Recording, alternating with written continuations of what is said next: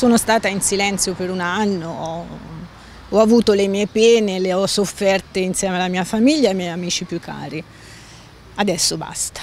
L'incubo di Monica e della sua famiglia è iniziato oltre un anno fa dopo la fine della relazione con l'ex convivente, un 61enne originario di Arezzo ma da tempo residente a Torino. Questa persona evidentemente non ha accettato la mia decisione e ha cominciato a molestarmi, prima con eh, messaggi, poi si è messo anche sui social eh, e da lì ha iniziato una campagna denigratoria nei miei confronti e nei confronti di tutta la mia famiglia.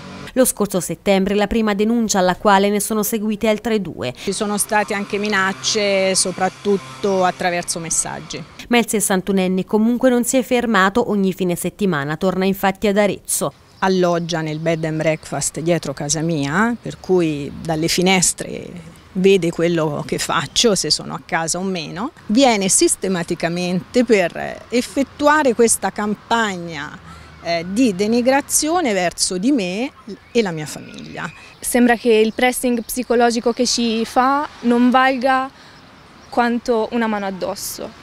Monica e i suoi figli vivono in un continuo stato di paura al punto che la donna in più di un'occasione è stata curata al pronto soccorso, l'ultimo ricovero ad inizio maggio. In rianimazione con delle conseguenze anche piuttosto gravi.